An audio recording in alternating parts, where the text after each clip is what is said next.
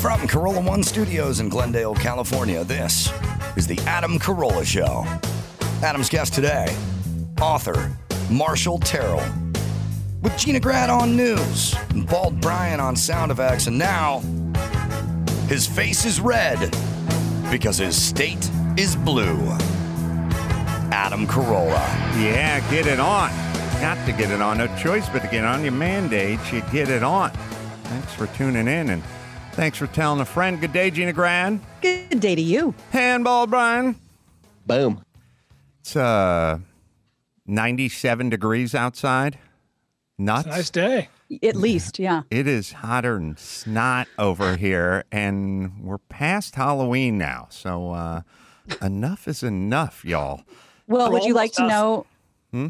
What? Thus, we're almost past the election. That's right. All Would you like to know the nosedive we'll be taking over the weekend? Oh, I am so pumped about uh, being like rainy and f- Yep. Oh, yeah. 57 It's on, be like on 60 Saturday. and rainy. Oh, Yeah. I cannot wait. All right. Um, bunch of stuff to uh, get into today. First, just a, a side observation.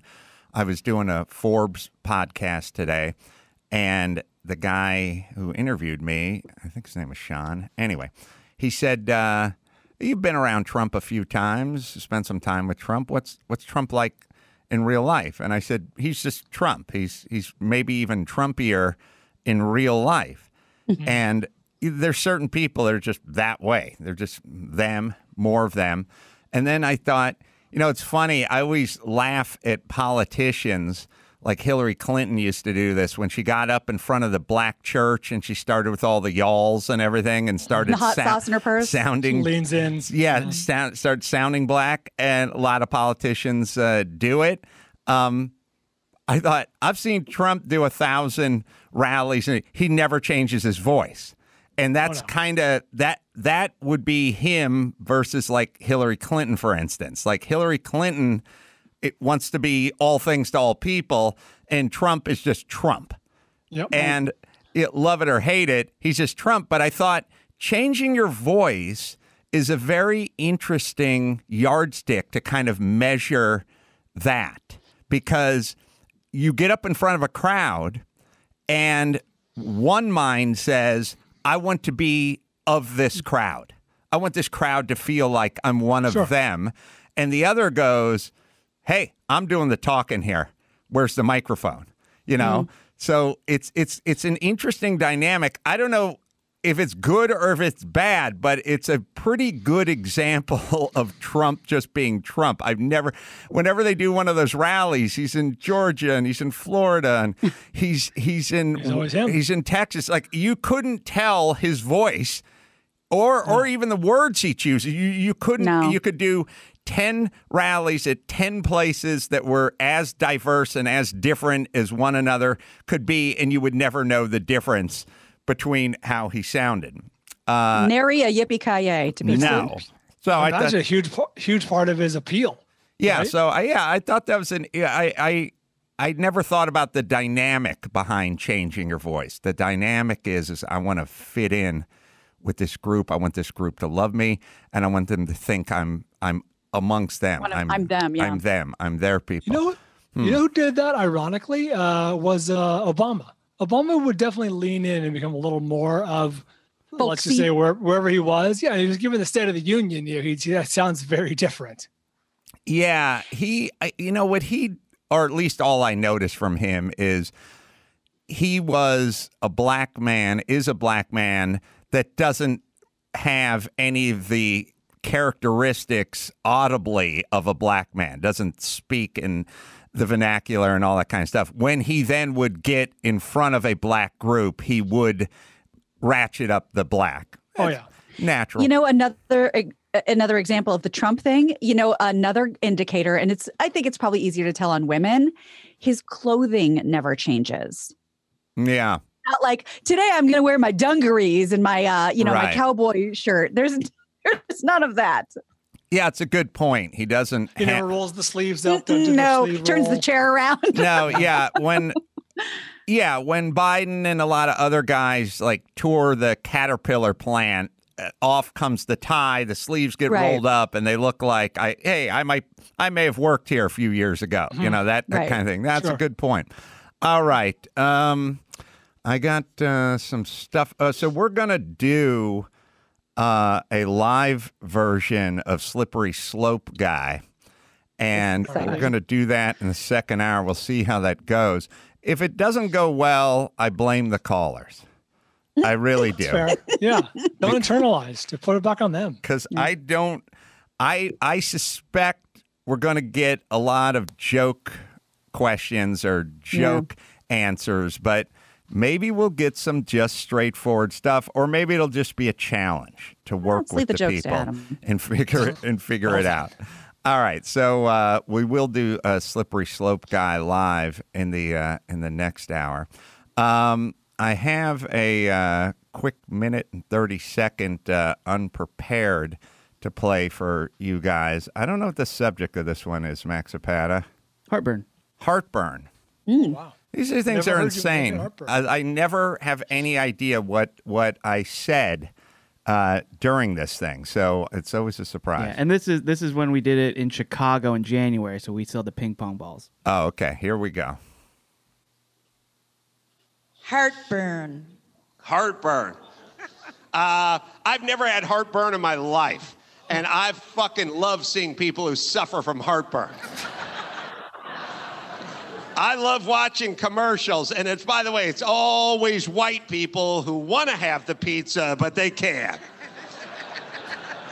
By the way, then in the middle of realizing they want the pizza, but the heartburn is too much, at some point they pull out the medication that they had on them the entire time. So why didn't they fucking know that when they left the car? Why go through that emotional roller coaster where you're like, hey, we're at an Italian restaurant. Oh, I can't eat pizza. Wait a minute, there's this thing in my pocket. Wouldn't you have that knowledge walking into Pinocchio's? I just decided to call my Italian restaurant Pinocchio's. I'm looking for a specific name. Two guys from Italy. How many heartburn sufferers do we have here? What do you eat? What do you want to eat that I can eat with total impunity later on tonight? I'm going to feel good about myself. Uh, What's that? Pizza and beer? They give you? They give you heartburn? Yeah. Although pussy would be a good one. I know, honey. I don't have my Zantac tonight. I- yeah. Uh, speaking of heartburn, there's a little summer sausage down here that could use some attending to as long as we're talking. And there it is, heartburn. Well done. everybody. Well, yeah, well done. yeah. You do have innards of steel. It is a marvel.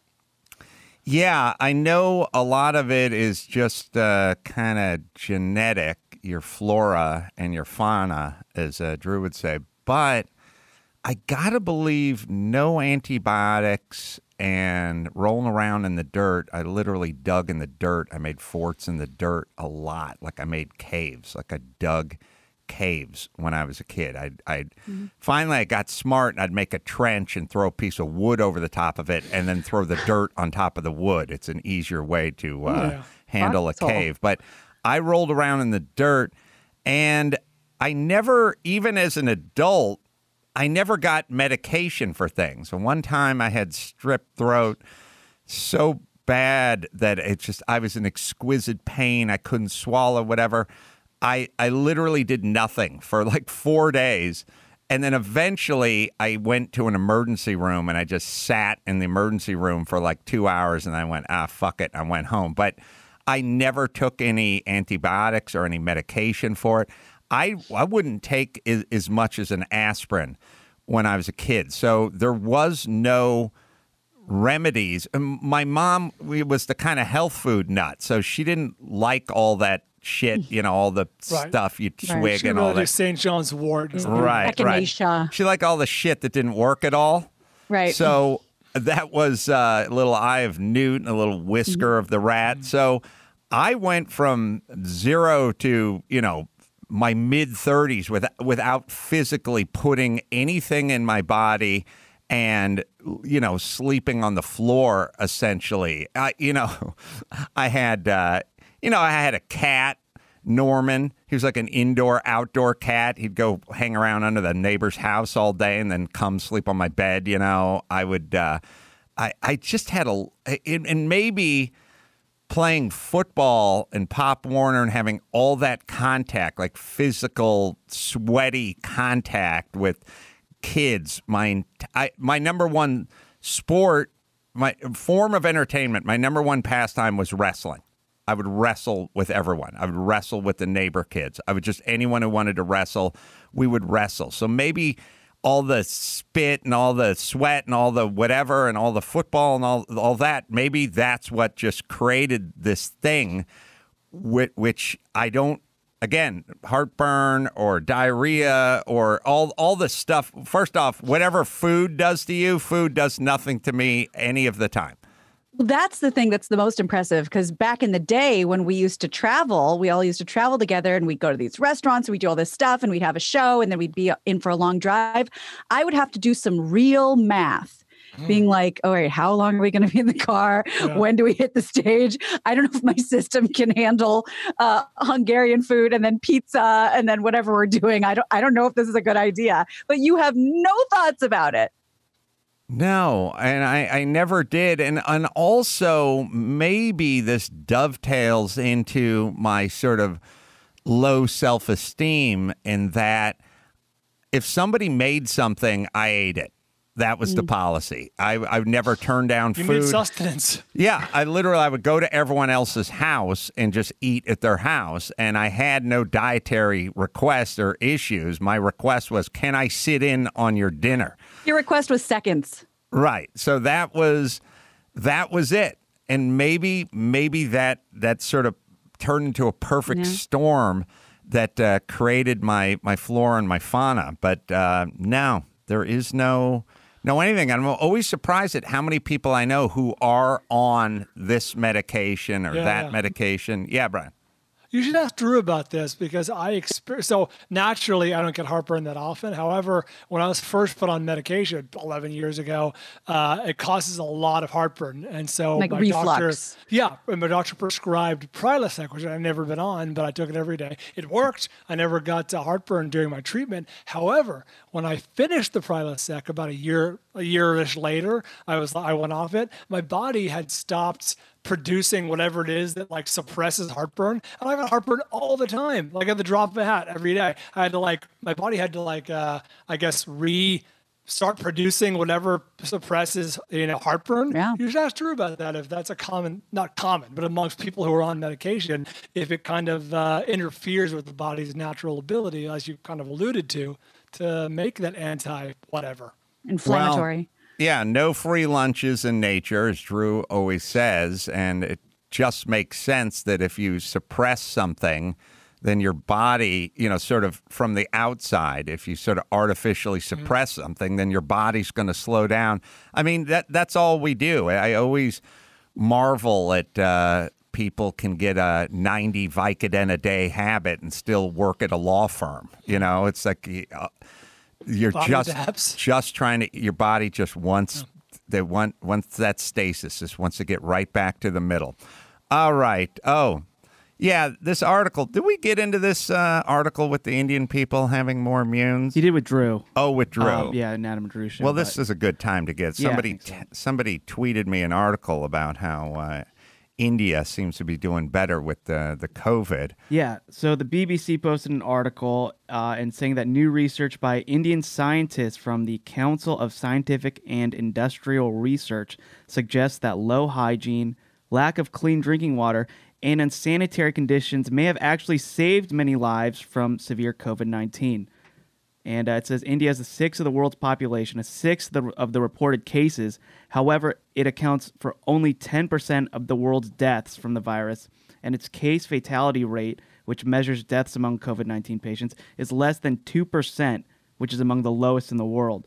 So they propose that people living in low and middle income countries may have been able to stave off severe forms of the infection because of exposure to various pathogens from childhood, which give them sturdier immunity to COVID 19 And they also talk about the microbiomes that we've gone into as well. So it's interesting. It's interesting. It it doesn't stop you from being infected, but it just doesn't run through your body like it runs through our bodies. And you know, it is interesting some of the third world stuff. I and maybe we're just snobs, but all I ever hear is uh, how uh, Germany and Italy's doing and how Florida's doing. I don't hear anything about Africa. No. I, You know, I wonder, yeah, how many reliable statistics there are because I don't hear much about that either. it's like it, they don't exist and you would think that these places would be decimated these you know th- these poor Right. countries that don't have access to ventilators and all the other shit we used to think worked but i'm starting and i i'm starting to think probably it's for the same reason probably these people aren't being decimated or i'm sure if africa was being decimated cnn for sure would let me know about it every eight Oh, minutes yeah, right Well, Well, I'll be having a concert. And at the very least, we know how good vitamin D is to fight this thing. And if you're in a sunny environment and you're outside a lot, that's got to help as well, like Right. many African countries. Yeah. All right. Uh, so speaking of uh, decimated populations and uh, living in uh, squalor, I told you guys I passed the Lord of the Flies fort off the uh, 101 freeway the other day. oh, Um, a new submission. I sent uh, I sent young lest you think I be I I exaggerate it all. I sent uh, intern Ryan over there to film it from his uh, from his phone, and I want you to see what I think is kind of a, a new high, possibly new low in homeless construction. So he's getting off the 101 freeway, and uh, what park do I keep screwing up this one This every is time? Echo Park. At, at Echo Park, and he's filming. There is, you can see there's a mound of leaves in a circle, Oh, my God. and and palm fronds have been stuck on it to create Oh. a perimeter. You'll see as he as he goes It's by. like- It's like yeah, an elaborate kids fort. they they made a Oh, fort has been made by also uh, I think about this a lot. Uh, I don't know. Doesn't it sound dangerous to sleep next to a freeway? Oh, of course. Doesn't Sure. it? I mean, for whatever whatever rules we have, whatever rules we don't enforce, what, for good or bad, could we at least go? Hey, man, you can't sleep on on the off ramp. Like we, Oh, we do have we have to intervene here. Yeah, we're 150 yards away from a freeway, and our backyard gets very dirty very fast. Like it, it, it cannot be safe to be wherever that guy is 70 yards away from the freeway or less, 50. Right. Right. Um, there's another submission that came to us uh, yesterday. An- A listener sent this to me on Instagram. This is where is it on the uh, Chris? I think he said the 405 in Venice. Yeah, and I'll, I'll put the video. up and and because we've been talking about the new structures that they're using you know if it's two stories or you know whatever check this out for a little more privacy when you're building your encampment tell me how sweet this is from your neighbors. Wow. they grabbed the the green fencing from wherever just to give a little more privacy Oh, I know Yeah, so those you guys. just- I know that encampment. yeah They- that, that's That's near not you that far from my house. They Right. literally took that kind of garden privacy green screed material and and it was strung on like mobile fencing and created a a shade that was seven foot high in the it's a gated community the That's- that's entire smart. length of but okay i don't know what to say why These are, these aren't homeless people anymore, Adam. All these are actual homes now. Uh, uh, these are this is a community this is a neighborhood Right. Is I do we not have people who work for the city? Like can't don't people show up and go, "Hey, this is a fire hazard," or "Hey, I mean, so now you're a mom and you what was that off? What was that overpass? All right. uh, the 405 in venice All right. Venice Boulevard. All right, so you got to walk your kids somewhere. How do we do this now? You walk in the Take the street. long way. You you go around and just walk. You just walk in the the street with the traffic. Like you don't walk under there Of course, the, the fencing's tagged. Jesus. Did you notice that? Yes, I did. I did. God damn. It is. Pretty crazy. It is Is that a. USC chant? Oh, hard times.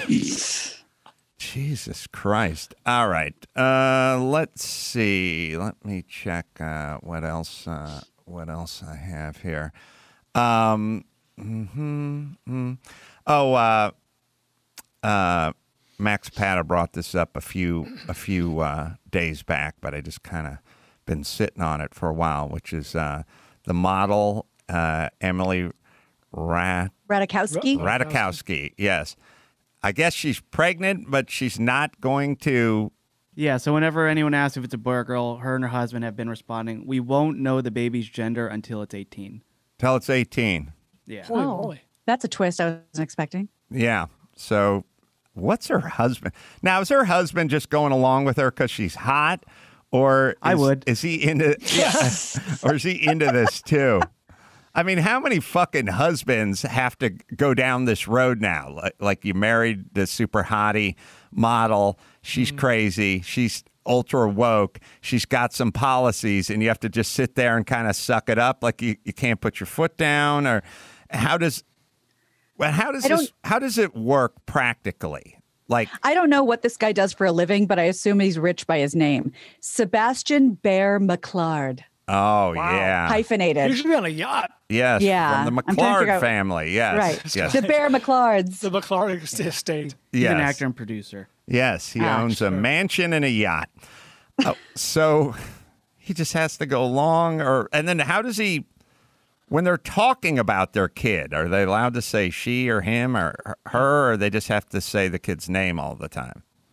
Yeah, can you pick her up from school? Okay, what is he getting into? Can you go keep an eye on him? There's a lot of examples. It's going to get tedious. it it it really just it it, it also you know it's sort of getting back to it like i know family and i think the daughter's like deathly allergic to dairy or something. She has a real problem with some food or some mm. spice or something. And it's kind of a full-time job. Like every time you go out to dinner you have to go now listen i have a request. You know like it, it keeps you busy. It, it makes it, it it it it makes it's not a carefree childhood because there's a lot of work that has to go into it. I mm-hmm. feel like this is that this is this is a lot of work. But it's Yeah. self-imposed. right right. But also um, i have a boy and a girl. They're fine.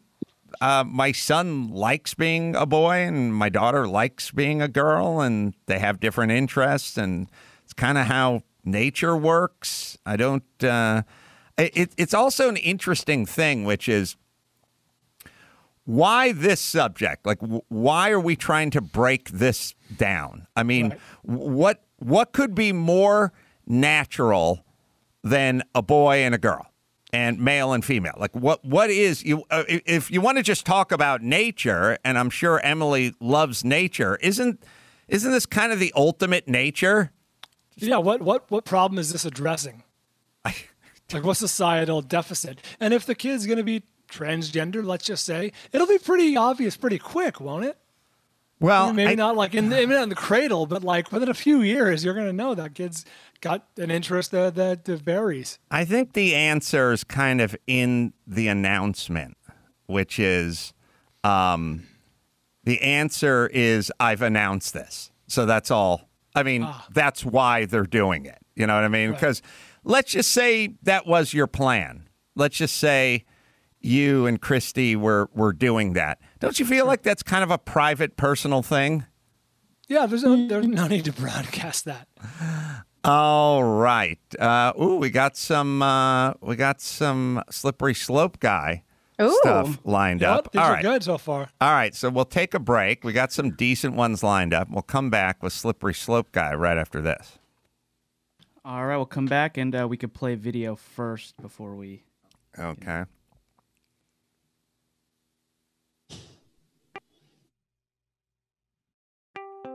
Adam Carolla's I'm Your Emotional Support Animal, navigating our all woke, no joke culture, has over a thousand five star reviews on Amazon. Here's one Song of the language is a little read for me. but stop carrying after and why? Because it was so funny. It is funny, dude. Thanks, Oz. Pick up I'm Your Emotional Support Animal, navigating our all woke, no joke culture, and leave your five star review on Amazon. Get all the links at adamcarolla.com. All right, we'll play you guys uh, a random slippery slope guy, just so you can uh, you can you can get it, and then uh, we'll roll roll into the live version of it. And now, an editorial from Slippery Slope Guy on medical marijuana. Does marijuana have some medical value? Maybe. But it's a slippery slope. First, your doctor's prescribing pot for your mother's glaucoma. Then he's treating your kid's head lice with hashish. And the next thing you know, a gang of government funded hippies has stormed your house and forced your infant to mainline a speedball, and there's not a damn thing you can do about it.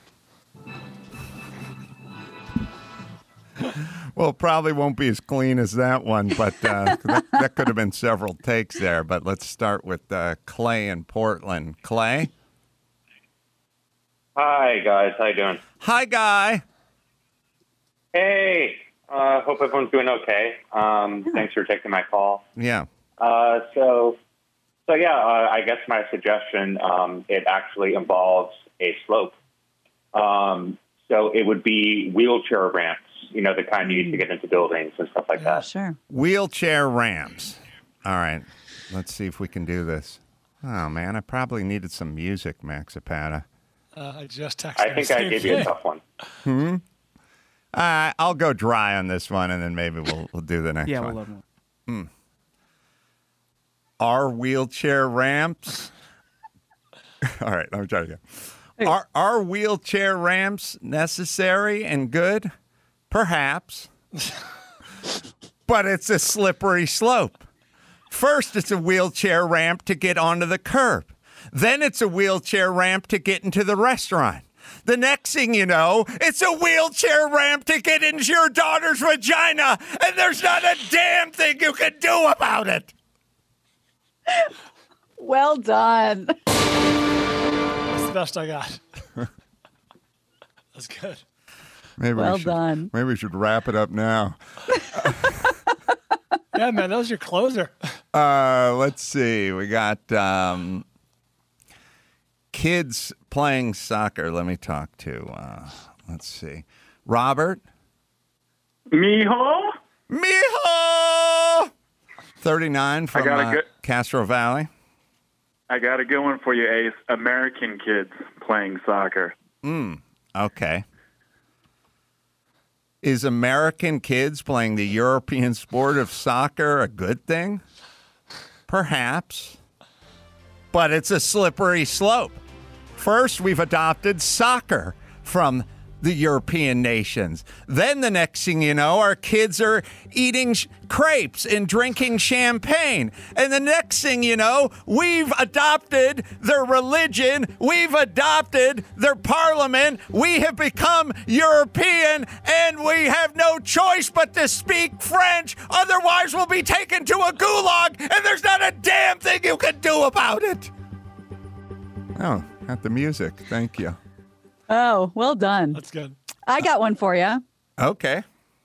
Um, I, I don't know what kind of slippery slope this could possibly be, uh, but something that that I I love people who do this: fostering kittens, rescue kittens. Fostering kittens, rescue kittens.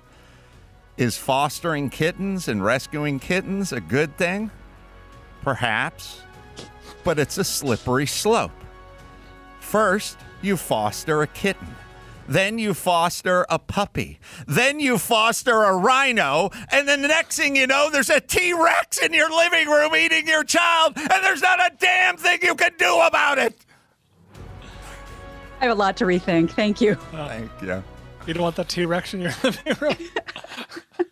I don't know Well, how the fostering slope. works, but I imagine you could do it on any you just animal. take kittens for a couple of weeks. All right, let's see. Uh, this is a tricky one. Marco, 46, Albany, uh, New York. Albany. Albany. Hola. Nice to be Hola. back. Brian, going on? Gina, you look lovely. Mm-hmm. Oh, uh, slippery slope, adding justices to the Supreme Court, ripped from the headlines. Adding justices to the Supreme Court. All right. Is adding justices to the Supreme Court a good thing?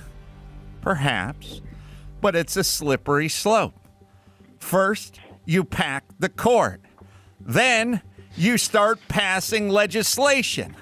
Then, you find out that this legislation. Ah, fuck. I, I ran out of I was wondering where that was one. going Run out of steam. I'm out of fucking steam on this one. Go. All right, I got another one for you. Oh, you know what? Because packing the court is already a slippery slope. It's already Right. it's That's already there. It's it's Right. we got to the finish line. That is that is the finish line. Marco. Hard to find the irony. yeah. Sorry, I crapped out on that one.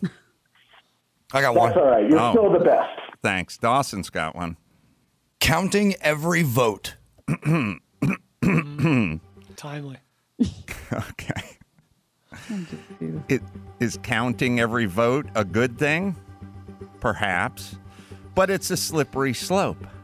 First, we count every vote. Then, we count every vote from every dead person that ever lived in Florida or Wisconsin. Then, we start counting votes and voting on politicians that aren't even alive. And the next thing you know, Spiro Agnew is running the country, and there's not a damn thing you can do about it. Zero. Well done. That was very good. That'd be a nightmare scenario. Yeah, he has to have been dead for a while, right? God willing. All right, let's see. Lisa. Lisa from Cleveland.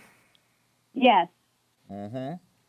What's So your I uh, think the slippery slope I'm thinking of is the hashtag hero. There were veterinarian heroes and healthcare heroes. Now the Mhm. grocery store heroes work here. Mm-hmm. I think she just did it. Mm-hmm. Yeah, sorry. is is labeling everyone a hero a good thing? Perhaps, but it's a slippery slope.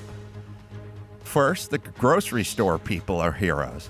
Then the nurses are heroes. Then the doctors are heroes. Then the crossing guards are heroes. Then the truck drivers are heroes. Then the ranchers are heroes. Then the pedophiles are heroes. And it's a slippery slope because there's not a damn thing you can do about it. That was perfect.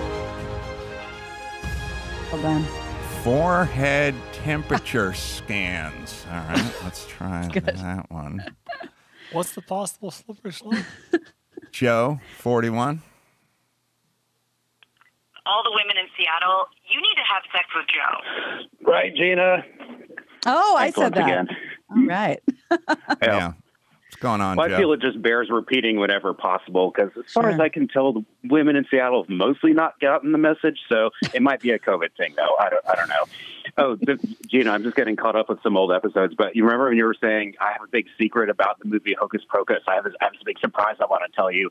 I thought you were going to say that Sarah Jessica Parker. This is this is true in real life. She turns out when she was doing research for the role, she was descended from a real witch in the Salem uh, witch. Tr- I mean, not a person who was tried as a real witch. I assume not an actual Oh, real witch. But that's a uh, great Snapple that, that is actually where I Wow. thought when you said, "Oh, I have this awesome thing about the movie I want to tell you." I never just- said it was just assumed awesome. You were going there. Well Great done. story. Thank you. Joe. All right. Go ahead, Joe. What do you got? Forehead temperature scans. Oh. Forehead temperature scans. Are they a good idea? Perhaps, but it's a slippery slope.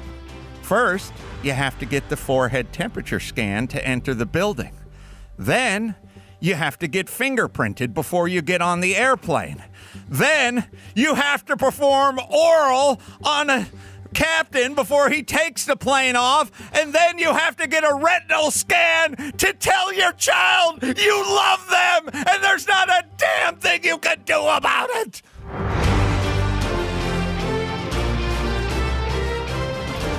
All right, Oh, I'm out God, of I don't think we're going to get better than that. All right. All right, we'll do that again. Well done. I done. blew my voice out. Thanks. Yeah, it's been been a while. Oh, Literally, all we do is sit here and laugh and watch you tap dance. So that that's That was a a good good bit. Yeah. well, we'll do it. Uh, put it, keep it in the hopper there. We'll do it once a week or something. Um, all right. Let me hit uh, stamps.com and then we'll uh, get in some other subjects I wanted to get into.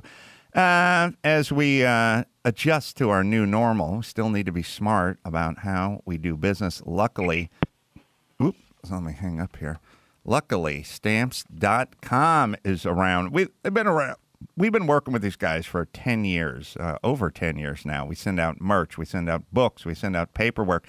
Whether you're a small business sending invoices, uh, online seller, shipping products, or just working from home, you need to mail stuff. Stamps.com lets you buy and print U.S. postage for any letter, any package, 24 7. Do it at home. Uh, do it from the convenience of your own home. Five cents off every first class stamp, up to 62% discount on USPS and U. sorry, and UPS shipping rates as well. Special offer, four week trial. Um, you can try it out, free postage and a digital scale, no long term commitment. Just go to stamps.com, click on the microphone, top of the homepage, and type in Adam. That's stamps.com. Enter Adam.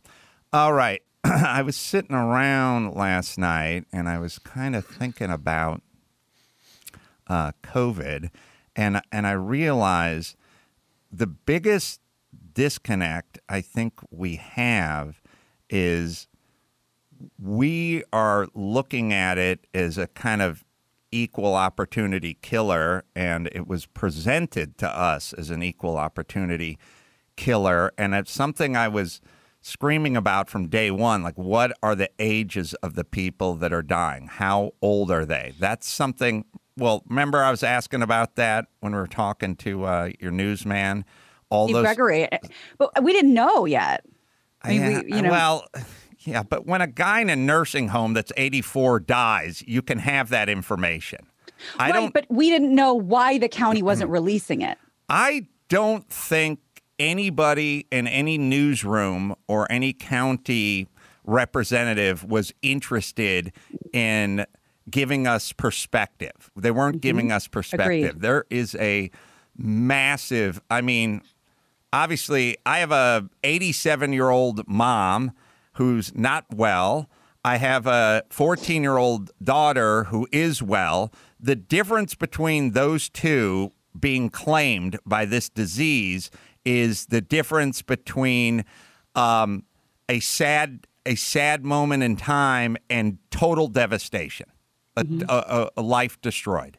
That's the difference between those two. Just, just those two getting the disease. Two two women in my life. That that is the difference. And we didn't get perspective. And I was thinking. I keep seeing all these stories where it's like, oh, Cam Newton's in quarantine because Cam Newton's infected. And then it's like he's starting the next week or the week after. You know what I mean? It's like He might not have the pep in his uh, uh, step. He had COVID. you can't really start at the NFL level as a quarterback if you're not 100%, uh, spell, especially Cam's, you know, running game and everything everything else. So then I started thinking I keep hearing about these, you know, college athletes getting it, football players, Major League Baseball, NFL. Like every time I watch Sports Center, like so and so for the 49ers, the cornerback, he's got it. He they're scared he's infected some of the other teammates, so now they got a quarantine or whatever.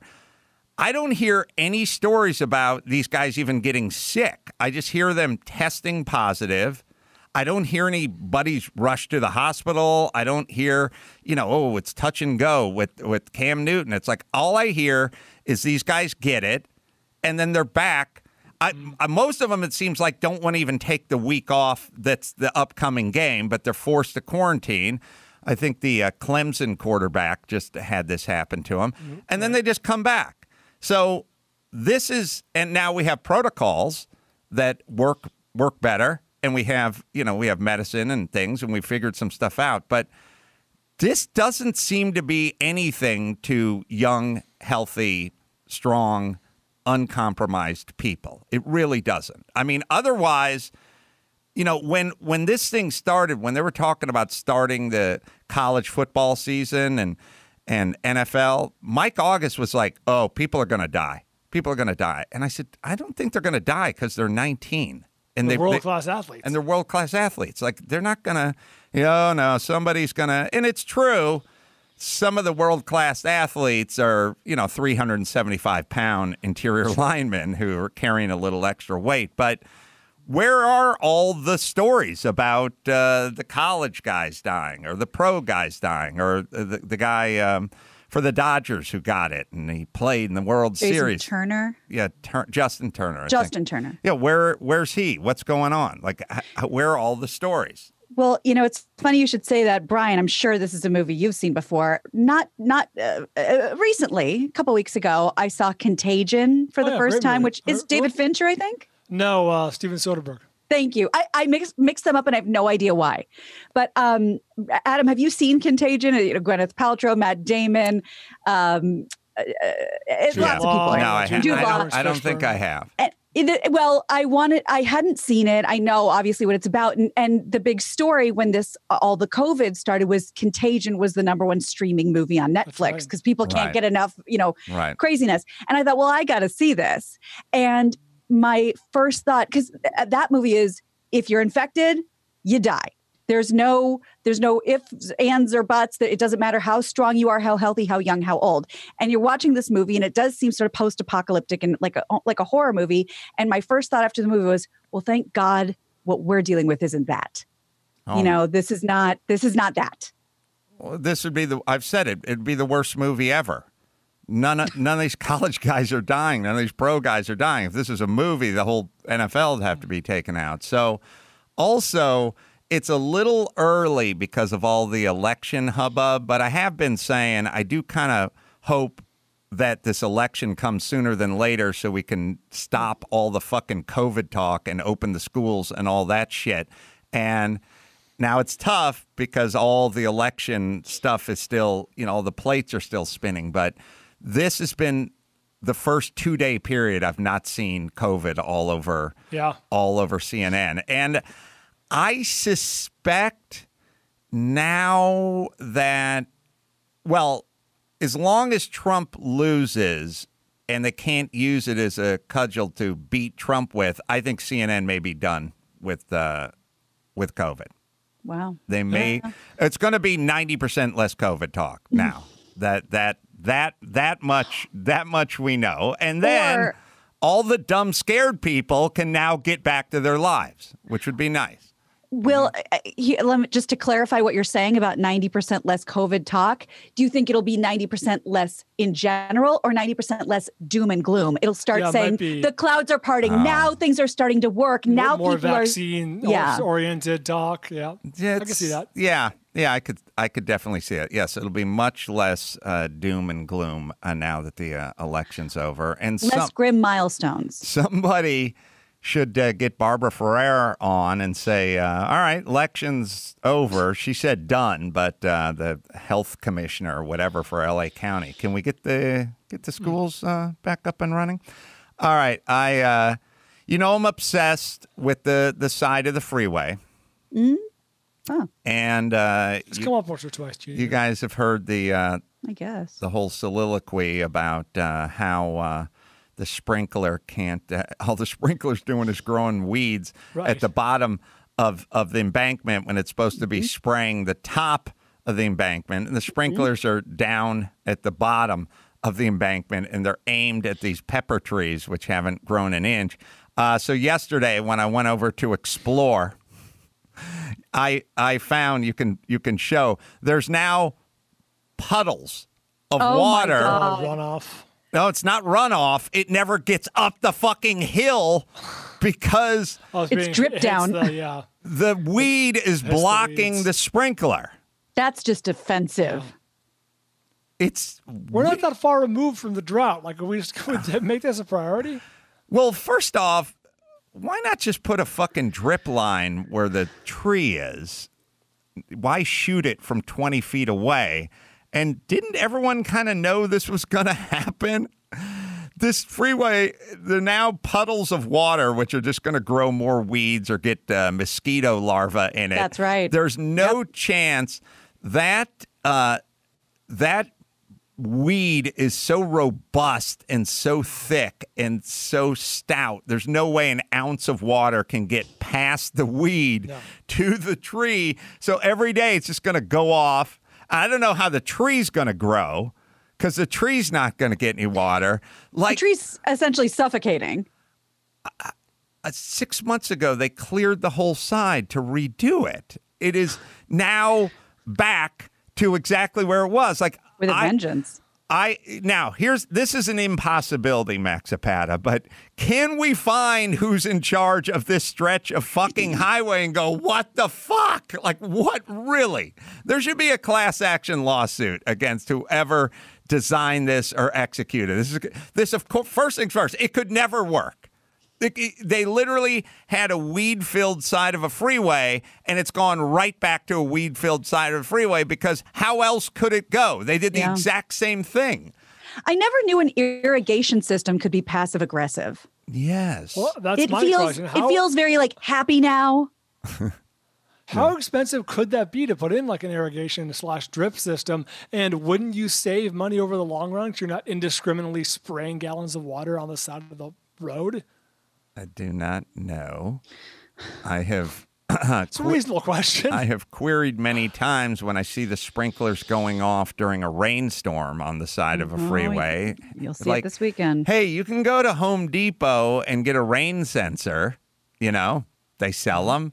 Everyone, all the homeowners I know have a rain sensor in their irrigation system because who wants to waste water when God is raining all over your shrubbery? Uh, well, I'll tell you, I'll tell you who doesn't care about it. The people who constantly inform you that we're living in a desert, we have drought like conditions, and you need to conserve water. Yep. Those are the same people that are creating puddles underneath their weed embankments at the bottom of the freeway and the ones who just fire off the rainbird during a rainstorm. So I ask you, do you want more of these people? Do we want more of this? Or mm-hmm. could No. we fucking reel it in? And why is there nobody just in charge of anything. The other side of the freeway, where you get on the freeway, just has a perpetual dirt lot and a truck parked in the middle of it, and a bunch of open boxes. Like that's just perpetually there, just dirt. A truck that we probably paid fifty-one thousand dollars for, and just a bunch of open boxes and like uh, some garden hose, just just Oh. sitting there. That's just been get a there. little bit of everything. That's been there for for years. All right. Hey, yes. Y- You know, I'm shocked that nobody's brought this up in general on local news, Twitter, anything. Um, you know how there was big fanfare when uh, the Dodgers came back from winning the World Series, and of course we can't have a parade or anything. So the big deal was as the plane was um, taxing back in to LAX, there were a giant like water salute with those Oh, giant water the- trucks, yeah. and I can't believe there's been no like. Are you fucking kidding me? We're in a drought. yeah. And that that was their big welcome back. And and I, I'm just shocked that it hasn't come up. Well, also, you know, this is California. This is like the epicenter of the Green New Deal. You know, we're Mhm. constantly talking about resources and Mhm. not wasting resources and all that. Can't even look. Uh, first things first. We don't. We don't need to be the first people to the party. Just fucking do what Arizona and Vegas does. They just the reason they don't have weeds is because they don't water because they put in the right plants for the right climate and they put their ground cover in and then that's that. You get the fuck on with your life. Succulents and rocks would look great. Right. Like Brian said, ice plants are pretty. Everybody likes them. Put them in. I'm gonna keep watching that weed.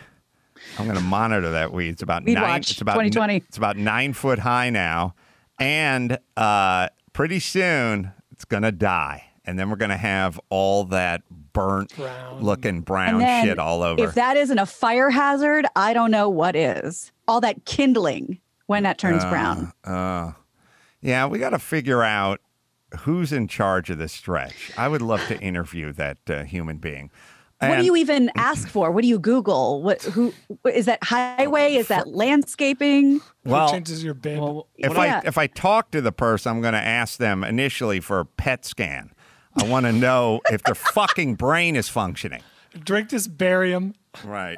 Well, last last year in August, Garcetti appointed Rachel Malarich as LA's first ever city forest officer, who would oversee the go. growth of Los Angeles' urban forest and help the city reach its goal to plant 90,000 trees by 2021. Well, they planted them, but it- shouldn't the goal be that they grow? That yeah. because those things ain't going to grow. It's it's a it's 98 degrees outside right now, and uh, those they ain't getting any water. It also shows you, like we always talk about genetic diversity and mutts and all that. the power of the weed, man. Those- Relentless. Nobody planted that weed. That fucking weed found a way, and that weed has gone from invisible, literally in the soil, un- unrecognizable, to robust. And those fucking pep- those pepper trees, those purebred pepper trees, have not fucking grown an inch. Now Yeah. it's true they're they're uh, they're bogarting all the water, but think about how fucking powerful nature is when you kind of leave it alone. You know what I mean? Like nobody's cultivating that. No one's helping it along. No one's fertilizing it. No one even wanted it there, and no one even put it there. And that fucking weed is gone ballistic in the last four months. That's basically nature. All right. Yeah, and they, their roots are, are thick. I mean, they're just sucking up every ounce of water. They're like Well, carrots when you pull them out. It gets it gets all the water now because it is but it's as if it's an evil weed. I'm going to block this water source. None of the water shall make it up the hill to uh, the evil pepper tree, and I will have all the water for my root ball. So says evil weed. All right. Uh, let's take ourselves a quick break. Marshall Terrill, who's uh, he's written many, many, many, many books. He's doing one on Steve McQueen, which I'm very interested in uh, as a subject. He's uh, done books on uh, Ken Norton, the boxer, Johnny Cash, Pete Maravich, Elvis Presley. I mean, it just keeps going and going. We'll take a uh, quick break. We'll talk to uh, Marshall Terrill right after this.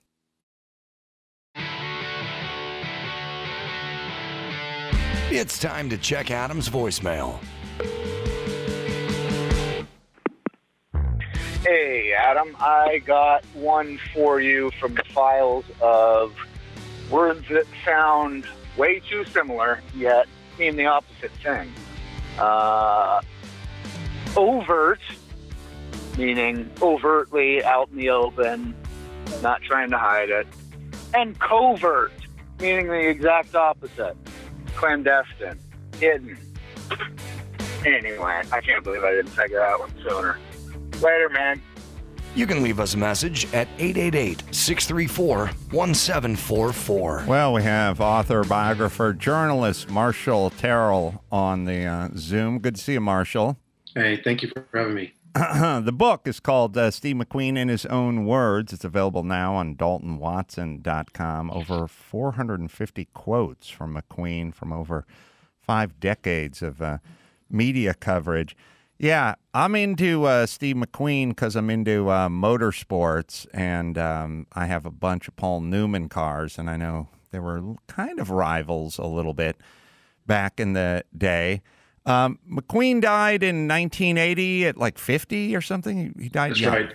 November 7th, 1980. So that, that anniversary is coming up on Saturday. Uh, and I guess you know better than most that uh, Steve McQueen watches and bomber jackets and old Porsches are off the charts uh, collectible. Why? Why do you think? After all these years, there's such an identification with Steve McQueen. Because look, just because you're a celebrity and you owned a car, nine times out of ten doesn't add much. I mean, it's like Paul McCartney's Ferrari didn't really get anything above that. Yes, Brian. That's the that's the Seinfeld joke. This is Jon Voight's car. Right, right. It just didn't. It doesn't. But for McQueen, he's such a cultural icon. But he became a cultural icon 25 years after he died. Right. It's it's tough to explain. Um, there are just certain icons that seem to do well in death, and uh, the McQueen estate makes anywhere from five to ten million dollars a year, just depending on what's out there. Um, and he transcends generations, just like the Beatles, just like Elvis, just like certain movies do. So they- it's just it's a magical quality you can't quite put your finger on. They make five to ten million a year just on licensing deals. Yes. Brian, I was going to say, what what does the McQueen estate sell, or is it, is it residuals from movies? no, or, they or- li- they license. No, but what? so Then the question then is, who who licenses? What is there out there with Steve McQueen's image? Well, or there's the Ford Motor Company that always uh, seems to put out a new bullet every couple of years in, in McQueen's name. Um, sun sunglasses, that's a big market. Uh, um, watches, watches, watches, is a that's the big one. thing. Tag Heuer. Yeah. Um, almost anything that you can think of, I, and and they're very picky about what they they choose. Sure. Uh, they're all high end stuff. So you know, McQueen represented you know, fashion, motoring, um, you know, you name it. And there's there's an element of the movies too. He produced a lot of his own movies, and every time they're shown, there's a residual for the fat. So um, more so than than a normal uh, movie star would have.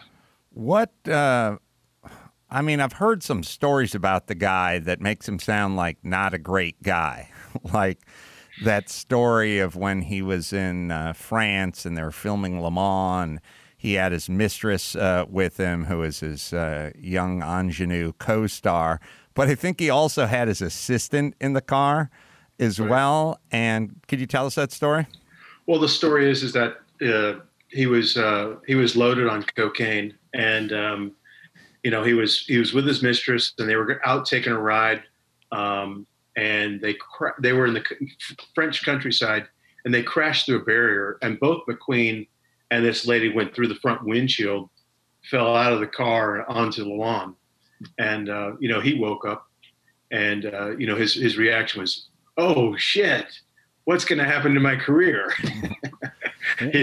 With, without much thought of the young lady. Um, and then, of course, when he um, when he came to, she she came to as well. And um, the, um, the the first house that they came upon um, was was an, was like an old French country house, and it was like two in the morning, and the guy came out with a shotgun. And um, so then they had to just walk their way back into town. And um, but the, the the younger gentleman that you were talking about was was now a big time producer. Um, was his assistant at the time, and he broke his arm, so he had to you know lug himself you know a couple miles uh, into town and and then get help. But he also had to take blame for it later on. He, he- so the the assistant was in the car too. Correct. Yeah, there were a and- couple people in the car, and the assistant was just one of them. So he told the assistant, uh, "You're on your own," and I think he told, uh, "Don't say anything," and uh, say you crashed a car. And then also the I I heard that the young co-star obviously had a big knot on her head from going through the windshield, and he's like, "Don't say anything. You got to put makeup on it." So, so- And she didn't Got an say answer it. for everything. Yeah. And she didn't say anything for 50 years. There was a Le Mans documentary that came out a couple of years ago, and she she finally kind of acknowledged all those things. Um, and she just said she didn't want to make Steve McQueen feel bad. So yeah, Different time. That's why they Very call different it, times. They call it the good old days for a reason.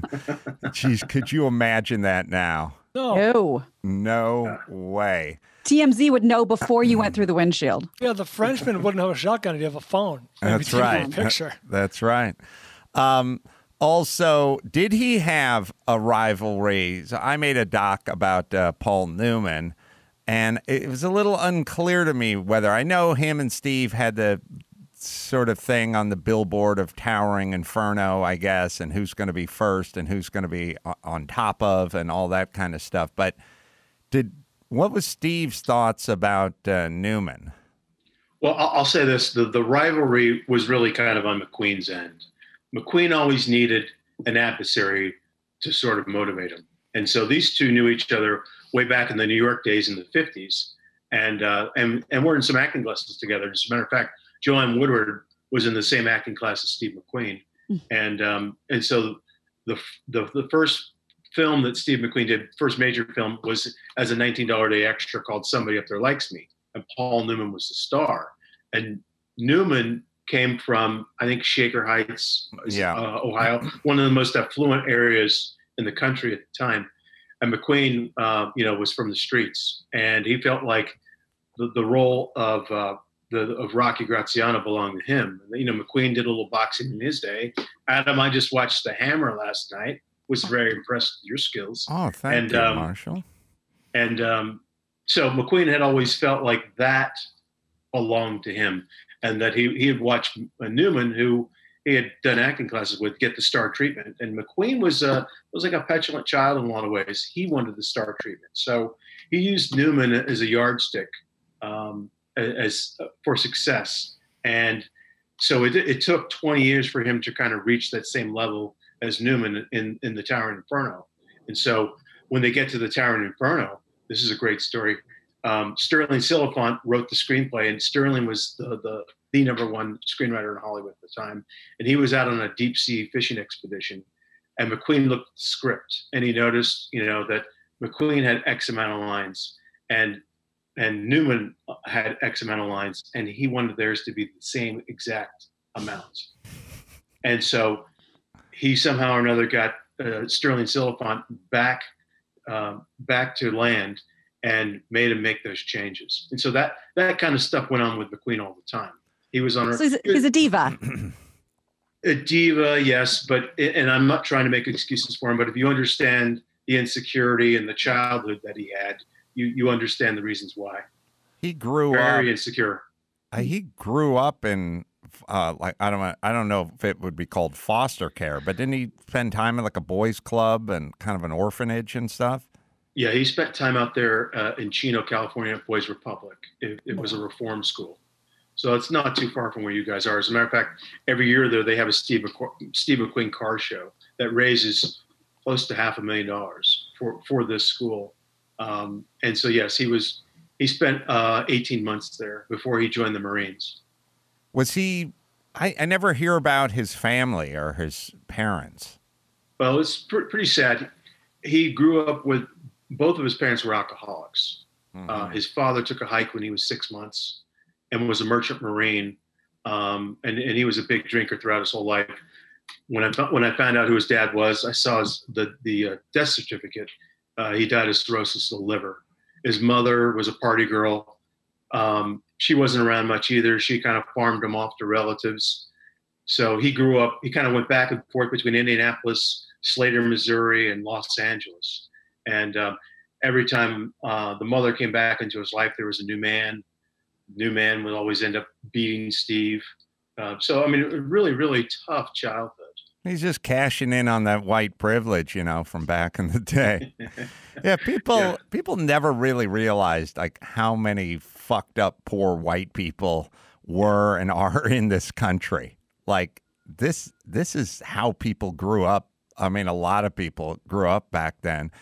Um, Brian had a question. I, I cut him off. What No, was it's it? Brian? okay. So if I can go back to uh, Newman and uh, McQueen just for a minute, it, it struck me, and please, by all means, I'm floating a theory, so feel free to crap all over it. It almost feels like a Salieri Mozart kind of thing because Paul Newman I think of as a great actor, Steve McQueen I think of as a great movie star. Do you know what I mean? Like it feels Right. like he was constantly um, measuring himself against the success, but also I wonder about like the ability. I mean, Steve McQueen, as magnetic as he was on screen, I don't ever think of as like a great actor, like the way I do Paul Newman.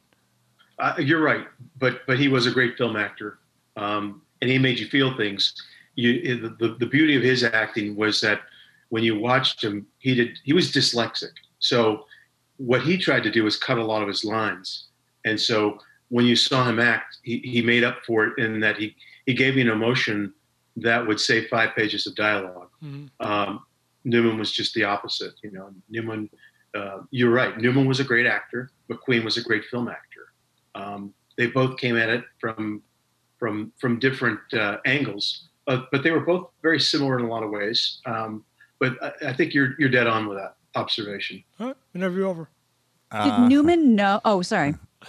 Oh, uh, yeah. I was gonna, I was gonna launch into the motorsport side of it because I know he's insane. He was insane lover of all motorsports. But Gina, you ask your question first. And then yeah. We'll do okay. that. Thanks. Uh, d- was Newman aware of this sort of one-way rivalry? Was he? Because he does seem like you know what we know about Paul Newman, just the nicest, and you know, Mr. Congeniality. Was he even aware that there was a rivalry, or did he care? He, knew, especially on the set of the Tower Inferno. I forget the gentleman's name, but he wrote a book. Uh, he was his best friend who who, who ran all of his business stuff. Um, and if you said his name, I'd know it. But anyway, there's an anecdote in his book where you know Newman um, Newman knew about the twelve the, the the lines of dialogue, and he was complaining to his buddy. And, and the, I think the exact quote was, "Do you know what chicken shit gets on by? Let me tell you this story." And so, yeah, he definitely knew that that was going on. Uh, so famously, so so McQueen was a pretty accomplished uh, motorsports guy.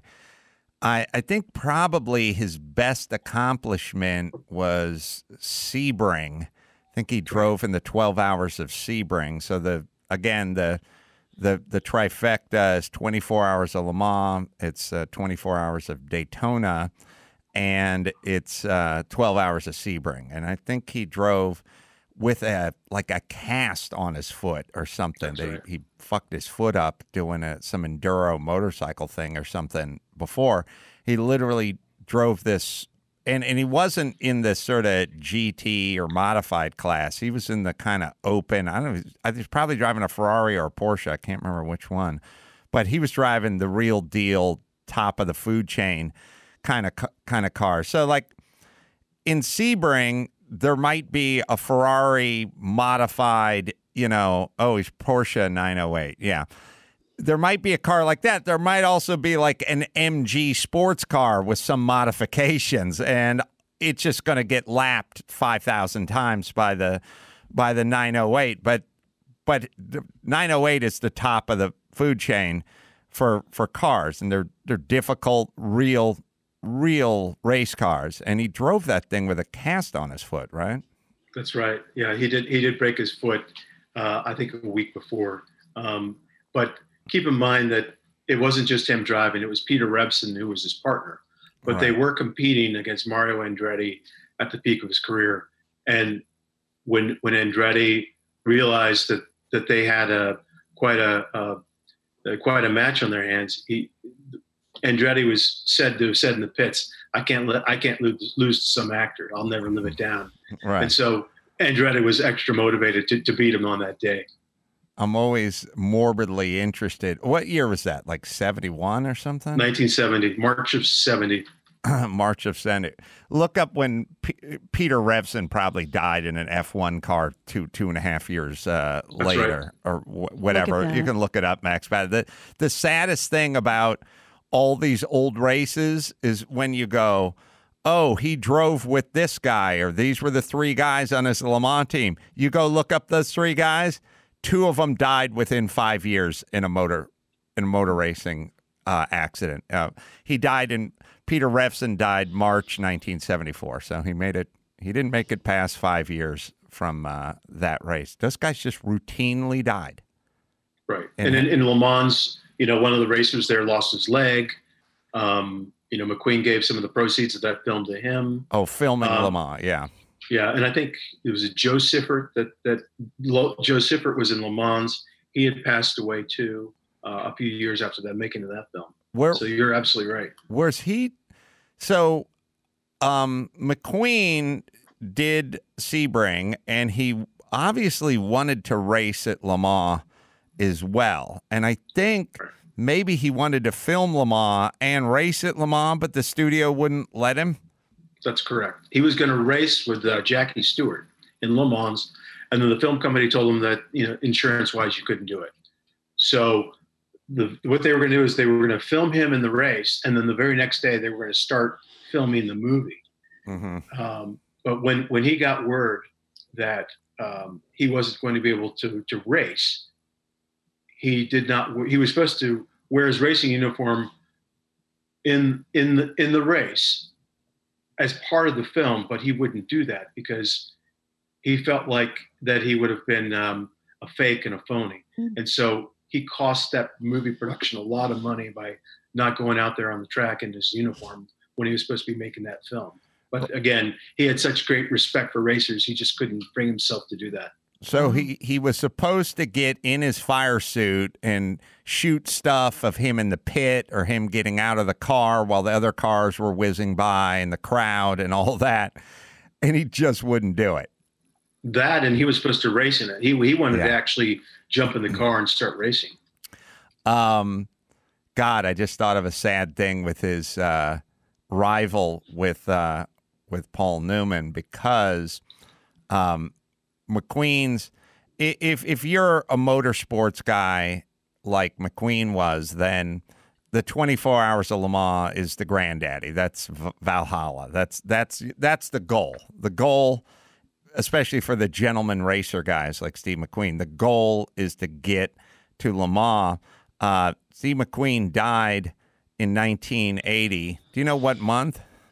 November, right? November seventh. Yeah, this Saturday will be the 40th Oh, sorry. anniversary. Yeah. Uh, in 1979, Paul Newman, his team won his class in Le Mans. So he got that as that. he got that as a parting gift. Wow. Yeah, so his rival did Le Mans and was successful at Le Mans, you know, a, a year before before McQueen died. But McQueen was sick for a while, right? Right. Yeah, he was he was sick for a, a good year before he had passed on. But I do want to go back to Newman. When Newman started getting into racing, McQueen felt that he was encroaching on his territory, so he was jealous in that way as well. Like he just couldn't have one thing for himself. Exactly. I guess all I got left of the, left of the salad dressing. Adam, you know, the way you were talking about racers and sort of how expendable they were at the time, but how tough and sort of heroic they were. I never thought about them like this, but they're almost like our gladiators. Yeah. You're gonna hurt, you get hurt, you're probably gonna die, but you're gonna live as a hero while you're fighting. Yeah, and you know, so many of these guys just never even saw their 30th birthday. Um, so I'm looking down on the page here. I love motorsports, but I also love boxing. And I see that you did one on Ruth Pointer of the Pointer Sisters. Now, you did one on Ken Norton. Right. What do Ken we Norton, Ernie Shavers, and Aaron Pryor. I did three boxing books. Oh, you did Aaron Pryor. Yes. And I got to hang out with him too, which is pretty wild.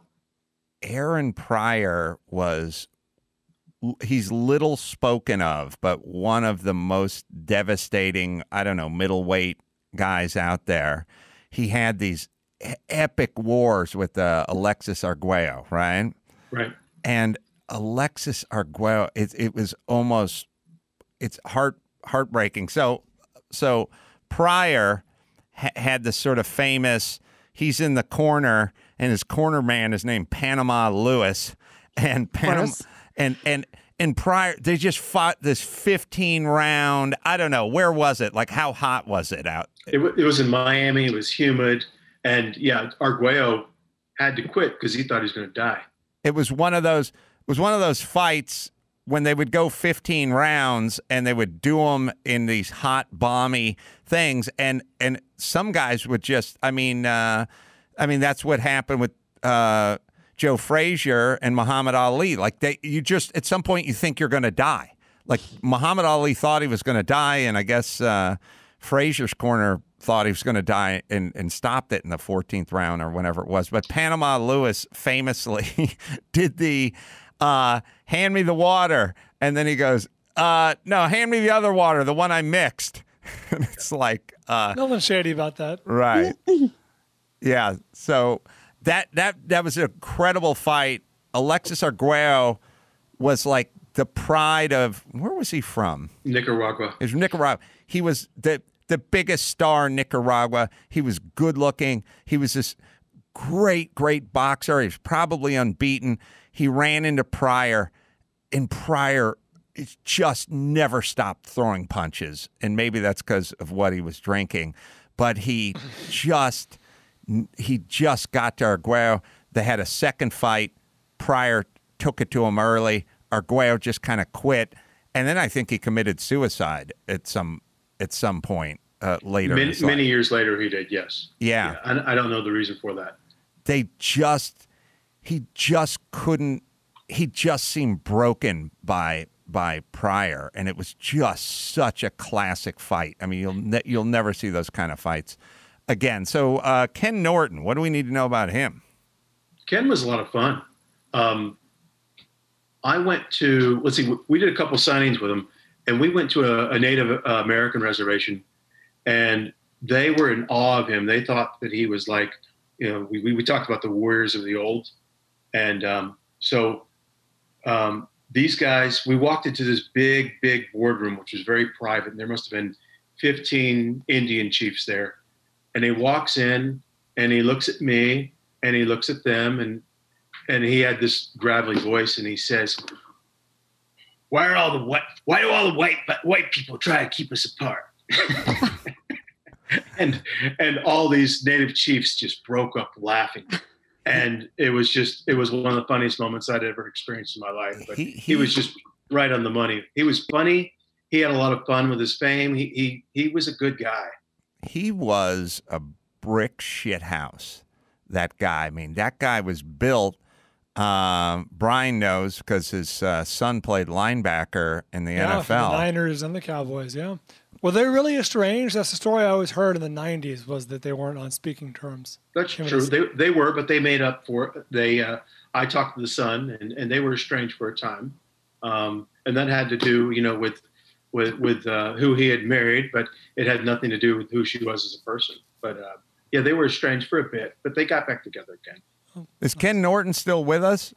No, he he had passed uh, a couple years Holy ago. Shit. And, and you know what? He was still in good shape like that when he passed.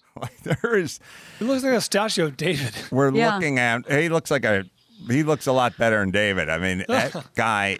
What a fucking specimen. He said he never shit. worked out either. He said that was all natural. I Oh hate my I hate these guys. It's it's all genetics. It's all goddamn genetics. Because uh, like uh, I've told these guys before, one of the guys Ken Norton probably fought was uh, Mike Weaver, and Mike Weaver was another fucking brick shit house who I who lived in my apartment in Santa Monica for a while, and I used to work out used to work at Bodies in Motion with him, but. Uh, these guys just crazy genetics. But you know the thing about crazy genetics is you take a look at Muhammad Ali with his shirt off, and he was kind of smooth. You know, he didn't have big veins bulging everywhere and the chiseled abs. He was kind of smooth. You take a look at Ken Norton, he he looks like a comic book character with his shirt off. You take a look at Mike Weaver, that, but the best in that whole group was the smooth guy. Right. It's it's such it's such a crazy thing. It's like it's the uh is that Mike Weaver? Yeah. Mike Hercules Weaver. Holy fucking shit. Look at the. uh, Is it the traps? Is that the back muscle that I can see from the front? That's insane. But you know, he would get beat by smooth guys or like Mexican guys with a gut on them, you know? And so, you know, the moral of the story is is there's two genetic hands. There's the genetic hand of what you look like with your shirt off, and then there's the the genetic hand of athleticism. And so Muhammad Ali got the genetic hand of athleticism, but a little less on what you look like with your shirt off. But the athleticism, that hand, that genetic hand always beats the guy who looks like a muscle, looks like a bodybuilder. Um, so, uh, McQueen, final uh, final thoughts on on McQueen. Um, he seemed like he was kind of a a tortured soul. Was he a tortured soul? I, would say so. He, he certainly, um, yeah, he would he would say one thing, do another. Um, very insecure guy, uh, very complex. I mean, that's what makes him uh, a great, interesting character study. Um, you know, he, um, he, he in, in, there's a great quote in the book about him talking about running up against red lights his whole life, and then he gets to Hollywood, he becomes famous, and then everything starts turning up green lights. And he talked about green lights can be a problem too. So he never really had a normal life. You know, he had this this torturous upbringing, and then all of a sudden he's invited to Candyland, and he's given everything. He's he's granted every wish that he wants. So there, there's no way that he could have turned out normal. Does he have family? Are there people, children, people surviving? He had he had two kids. Um, Chad is still alive, and his daughter. Oh, that's right. Yeah. His daughter Terry died at the age of 38 of a rare iron deficiency called hemochromatosis. Hmm. So there's a lot of tragedy in that family. It's also kind of weird because I've I've seen Chad McQueen at a few motorsport events and stuff like that. It's a it's a kind of a weird. Be careful what you wish for because when your dad is Steve McQueen, that seems like a pretty good childhood. You get all the cool mini bikes and you live in the house in Malibu and stuff, but you kind of go through your life as Steve McQueen's son, right? Like Chad McQueen's his job is kind of being son of Steve McQueen. Well, right, and, and you know Paul Newman's son had that that situation as well. Chad seems to have done relatively well, and I, I I will credit McQueen for this. He was a really good dad. He was a stern father, and Chad, uh, growing up, worked at a gas station. His dad didn't give him anything, and he made him work uh, at this Malibu gas station. I think if you take the drive up to the coast, that gas station's still there. It's the 76, and Oh. his his dad didn't give him any cars. He made him work for everything. So uh, you know, Chad actually turned out okay. He did. What okay. are you talking about? Oh, that's sunny. Yeah, he. Um, I think. Oh, Yeah. hmm Karate Kid. Karate Kid. I forgot about that. Yeah. Um, yeah, I think. I think Newman's son died when Newman was like uh, 26. I, uh, or when he was 26. Sadly. Uh, let's see. So uh, let's give a plug here. Steve McQueen, in his uh, own words, and uh, you can uh, get that. By the way, it's available on DaltonWatson.com. Marshall Terrill, thanks for joining us. My pleasure. Thank you for having me. We'll take a quick break. We'll come back with the news right after this. Give me the news with Grad. News with Gino Grad. Breaking viral, all those crazy Trump tweets. Give me news with Gino Grad. Trouble in the Middle East. Celebrity drunk meltdowns. Need news with Gina Gino Grad. The news with Gina Grad. Well, the election mishigas continues, so we'll just sort of let that simmer until we get uh, until we get more hard information. But for now, there's some other election stuff that's pretty interesting.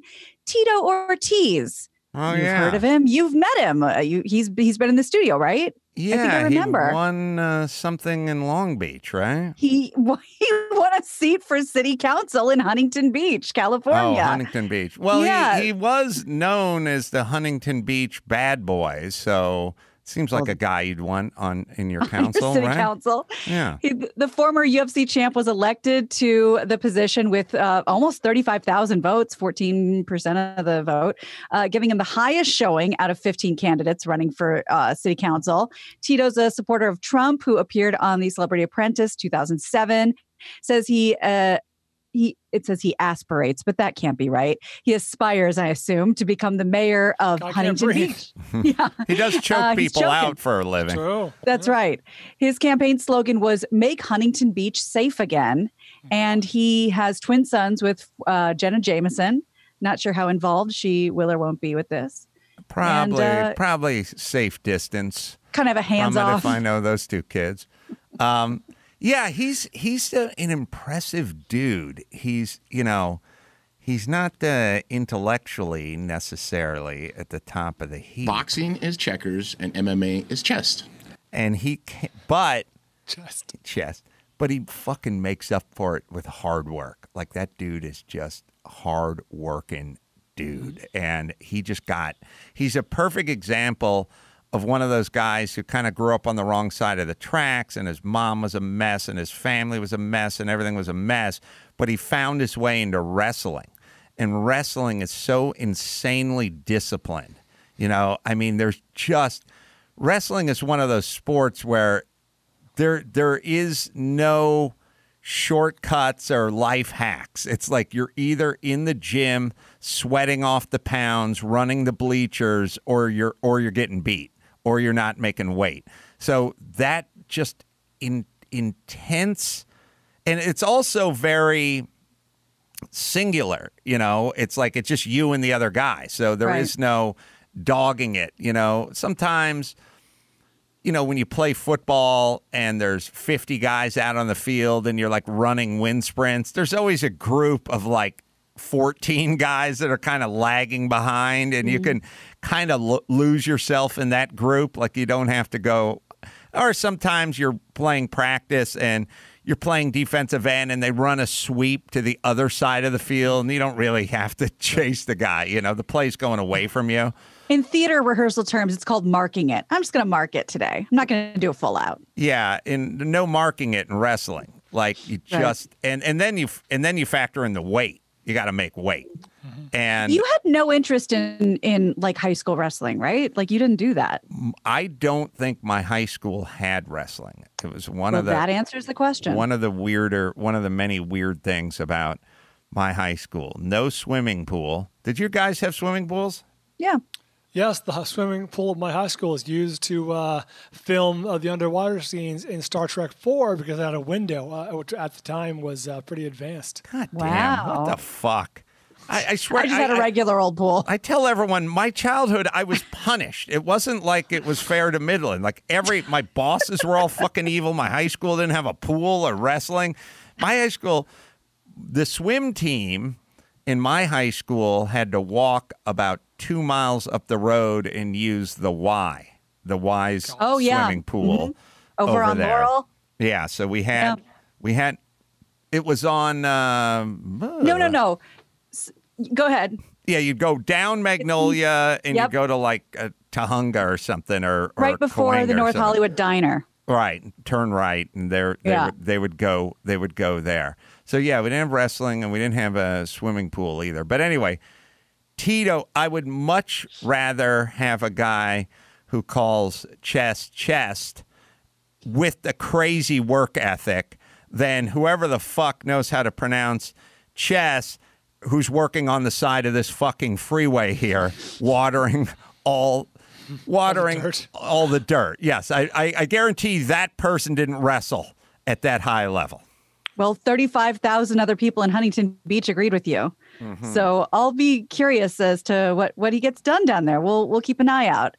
Um, another winner uh, from a small town in northern Kentucky, um, and these stories exist because they just keep happening, elected a dog as their mayor on Tuesday. This is Wilbur Beast. And he's a French bulldog, and he won the election in, in Rabbit Hash with over 13,000 votes. The race was the biggest turnout ever, with a total of 23,000 votes cast. Wilbur Beast is not the first dog to lead the town. This is sort of what they do. They've been doing this since the 90s. The residents cast their vote by writing in their preferred dog's name on a ballot and then donate a dollar to the Rabbit Hash Historical Society. So it's kind of a, a cute little joke. The first elected mayor in the history of Rabbit Hash was a dog named Goofy Borneman Calhoun. Oh, was don't inducted tell in that to Emily Ratajkowski. She fucking wants no part. She was probably thinking about vacationing in Rabbit Hash, but Right, uh, sure. not, Not anymore. anymore. And uh, he ran. He he had that uh, office for four terms. Um, this year, Wilbur defeated the rescue pit bull and incumbent mayor Brynneth Pawltro, who was elected in 2017. Um, and you can't just be any old dog and do this. Every uh, aspiring candidate must be able to chase a rabbit from their home to the Rabbit Hash Town Center within one hour uh, to be considered eligible for mayor. Wow. Congratulations, Wilbur. I got to tell you, I used to make fun of these towns, but ever since passing the Armageddon landscape of homeless people and mhm. junkies flopped everywhere, I could use a little down home cooking these days. You know what? It's a great indicator of Hmm. Northern Kentucky is out of problems. Mm-hmm. So they've made it. They've sign. reached the top of the mountain. Let's just keep electing dogs because they're funny. Hey, Max Bata, check into their irrigation system over there at Rabbit Hash, and let's see if I might make that move or not. All right, just Google that shit. Max Bata, like serious, how do I find out who's in charge of this stretch of freeway? I'll I'll find a way to find it. All right, sorry. By the way, So- I have yeah. I, I have a rich history of trying to get people that are horrible at their jobs to come on the air with me. They No. never do. They're pretty averse. they Shocking. they hate microphones. People that are people that are really good at their job love microphones. People that are horrible at their job hate them. You know what? Just a little um pre a little a little production side conversation. You know who Chris, who I should put you in touch with, who somehow gets everyone to come on the show and they never come back twice? Ray, John and Ken's producer. Oh, really? How they get these people on and then they get on the air and just are lambasted because they can't answer any of the questions. Right. I'll, I'll, I'll ask. I'll see if we can get get him to get on this. Um, New Jersey's comprehensive ban on single-use plastic and paper bags, which you don't really hear about, was signed into law on Wednesday, marking what some claim is the strongest measure against single-use bags in the nation. So the new law prohib- prohibits all store and food service businesses statewide from using these items, as well as disposable food containers and cups made out of uh, poly polystyrene foam. That starts May of 2022. So food service businesses will only be able to provide single-use plastic straws, and you have to ask for them. That starts next year unclear on what they're going to put the food in. Uh, while some states impose a fee on paper bags, New Jersey says no paper bags. Hmm. So this is going to be interesting because remember how quickly paper and plastic bags came back because of COVID. You're not allowed to bring your own bag in and out of the store. True. So maybe they think it'll be done by then. I don't know, but they they frown upon tote bags right now in grocery stores and things like that. For germ reasons? Is Yeah. that Yeah. Yeah. Or if you bring your own bags, you have to pack your own groceries. That that's the word on the street at Sprouts. I was just there. Oh, I had a, a fairly Brian's dream. I had a fairly comprehensive talk with Drew about surfaces and wiping stuff down. And, you know, we all, you know, seemed like yesterday my daughter was yelling at me. I had to take my shoes off before I came into the house. And they were like, had the alcohol spritzer and they're like spritzing the fast food containers and they would. Delicious. Some people would let their shit sit out in quarantine for a while, you know, before they brought it in the house. And I said, I don't really hear any talk about surfaces anymore. People were wearing gloves. It's all about airborne spittle, mucus, e- everything. Droplets. And uh, Drew's like, yeah, never really was a thing. The they didn't know it at the time. Thank God I never fucking wiped anything down. But the point is, is it's not. It doesn't seem to be about the surfaces and the the fomites, as uh, Drew would call it, the the contact, the stuff. It's it's all airborne now. So why are they freaked out over the satchels? Or are we just in kind of? I don't think we've caught up yet. We're just like- just is the policy. But have you guys heard any talk at all in like the last two months about surfaces? No. It's, it's all been masks. It's all I mean, been it- aerosol. And it's interesting because they did find out, like, well, you know, so far as we know, it can live on stainless steel for three days or cardboard for two days or whatever. And that's all really interesting. But is the point that it it's not infectious because we don't really care about it anymore? I it it, it just seems Or the odds of you touching a surface with it on it is low? The way you get it is from somebody sneezing, uh, or, you know, or it going singing or you know, Aerosolized. aerosolized. Yeah, just coughing, just putting it out there. That seems to be the way you get it. I don't. I haven't heard anything about surfaces in, No. in in months, so you think they could get those bags back? All right, yeah, let me. the, uh, yeah. the chief of pediatric infectious diseases at UC Davis Children's Hospital last month did an interview and said that it is theoretically possible to get catch it from surfaces, but highly unlikely. You need a unique sequence of events, and uh, that Hmm. someone would need to get a large enough amount of the virus on a surface to cause that infection. So it's uh, then without washing your hands, you'd have to touch your eyes, nose, or mouth afterwards. So it's so unlikely. have to be a crazy situation like being at a Sprouts with a beach bag. yeah, something like that. Something absurd, yeah. ghoulish like that. Ugh. Think about all the people and all the wiping and all the shoes and all the spritzing of the bags and everything's got to go in a house. Oh God! God, I never did any of that shit. All right, let me tell you about uh, SimpliSafe break ins rise during the holidays. Well, that makes sense. So, SimpliSafe is having a huge holiday sale 30% off any system and a free security camera. Whether you're traveling or staying put for the holidays, check it out 30% off plus free security camera. Uh, the deal, it'll end this week. So let's get going. We love SimpliSafe. I have SimpliSafe. I've always used SimpliSafe. Peel and stick. Batteries last up to 10 years up and running in under an hour.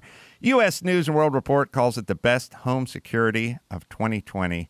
An arsenal of sensors and cameras, and that's how SimpliSafe does it.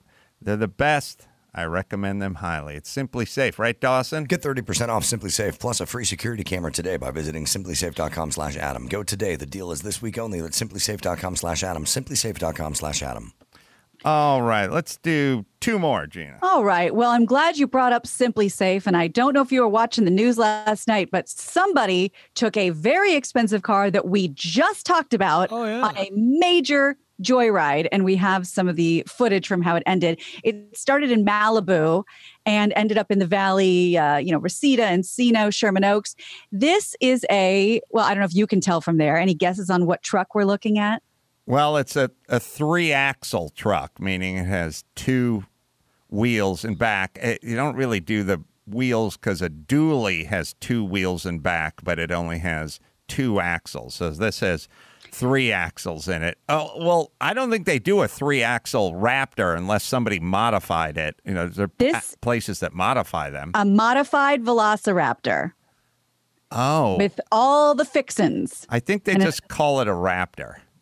Oh, well, they said Stories Us All calls it a Velociraptor, but I assume that is the Raptor. It's got to, it's got to be the same thing. Oh, Says oh, Hennessy Velociraptor. Oh, okay. So, so Hennessy does big time modifications on on cars, and what Hennessy did is they took a Raptor and made it into a Velociraptor by Hennessy. That's that's where the oh. confusion Oh. I is. knew you'd be able to translate this. Yes. So here, so we were watching this live, and you know, it, it came from Malibu. That they were saying it was maybe what a three hundred thousand dollar car. Yeah, Uh, truck. and yeah. uh, trying to figure out. So we went online immediately and tried to Google celebrities with this truck.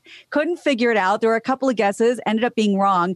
So the situation is producer and DJ Marshmello's custom truck was stolen from the dealership and taken on a joyride that turned into this big police chase and eventually a crash into a pole near my uh, Taco Bell over here. Law enforcement sources told TMZ this truck was stolen from a local Ford dealer Wednesday while it was getting serviced. TMZ was told the keys were in the truck. The guy just hopped in, hit the town, and finally, after pulling into this Taco Bell parking lot, it tore out and crashed into a utility pole while trying to make a turn. This thing is giant, and the suspect was arrested for felony evading and possession of a stolen car. Yeah, not much turning radius, but I got to say disappointing because I've seen and and you you have too as well, Gina. It's an obnoxious. By the way, that's an obnoxious truck. But so here's the It thing. is. Here's the thing. Uh, I'm guessing whoever owned that truck, not a Biden voter. That's I'm going to go out on a limb. Number two, um, disappointing, disappointing because this truck has it's a like a double dually rear end. It's got the six wheels and the three axles. Hennessy Hennessy takes uh, takes. Uh, uh, he, uh, he, I'm trying to think of uh, his. Uh, his Vipers. He takes Dodge Vipers and gets like a thousand horsepower out of them, right? So this truck's got a thousand horsepower, huge knobby tires, a big, you know, 30 inch 30 inches of ground clearance. Yeah. This guy makes fucking half a U-turn, hits a fucking mailbox and climbs out of the car. He could have Yeah. he could have driven this thing all the way to fucking Baja Peninsula if Yeah. he wanted and no law enforcement could have stopped him. Meanwhile, They even, let me just tell you, they threw down spike strips, popped a tire, I think, and it, it made no difference. I have seen the guy just banged into a post and got out of the car. I have seen guys in Ford Aerostars that were made in the 90s with, uh, you know, 700,000 miles on them, hauling ass down the uh, 210 freeway with like three fucking flat tires and and and sparks shooting out. They never slow down. That's right. They get off, they plow right. through a couple of intersections, hit a pedestrian, they get back on the freeway. At some Yep. point, they want to get to their house out in Pacoima. It's like th- they they're driving literally minivans or Isuzu iMarks or whatever, just piles of shit from the 90, 90s. And this shit goes on for 300 miles. Yeah. This guy's heart. this guy's driving a fucking tank. He hits a post, he gets out of the car. Yeah. Sorry, that is that is some weak sauce, bro. Yeah, because he was just going south the whole time on the 101 and the freeways were clear. So yeah, the the minute he, there's a little trouble, he uh, waves the white flag. You got to go toward the fucking high desert, man. You got to get off the road on that Yeah. thing. Now, the fuzz ain't going to catch you there. All right, one more. Sure. Um, so while we're on the subject, uh, because we were talking about these these Jeeps and cars and trucks that we had ne- I'd never heard of, Jeep has. I was going to show you this new uh, custom Gladiator that's ready to roll. I don't know if you've seen this one yet. Mm-mm. In more ways than one, the Gladiator Top Dog. It's a concept is a parts and accessories showcase built for SEMA, which is taking place virtually as we talked about. So it's a four by four pickup. It's been reimagined as the ultimate mountain biking base camp with auxiliary lighting, rack rails, a two inch lift kit, roof racks for bikes and gear, and a PCOR flatbed storage system in place of the bed that's packed with some intri- interesting accessories. If you can open the door in the back, there it is. It comes with shelves, a refrigerator, a hot dog roller grill. Oh. So, like you said, making a statement about getting off the grid, I think this is your vehicle. This, by the way, these two vehicles are why the terrorists hate us. Mm-hmm. Number one. Number two, it's the Gladiator Top Dog. Yeah. I don't sit down in anything that has the word gladiator and top in Oh, it. I feel like that is a little too homoerotic for me. You're Yeah. asking, you're just asking for trouble. You just are. Yeah. it, it sounds like an invitation. That's right. It's an invitation to sodomy. All right. Uh, shall we bring it home, Gina Grand? Let's bring it home. I'm Gina Grad, and that's the news. Gina, Gina, Grad. That was the news with Gina Grad.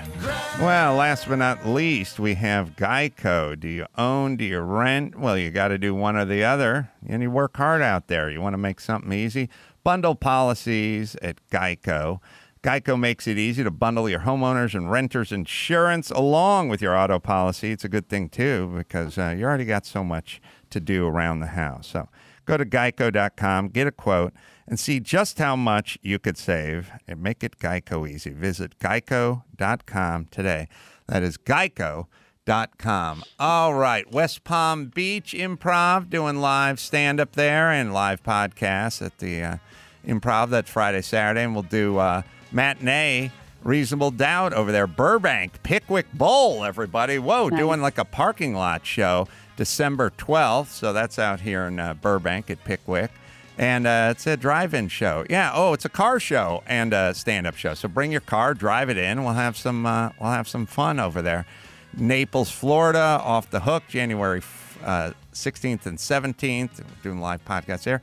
And uh, check out me and Jeff Ross. We'll do a one on one on the stereo app uh, this Monday, 2 o'clock Pacific. So until next time, this is Carolla from Marshall Terrill and Gina Grad and Bald Bryan saying mahalo.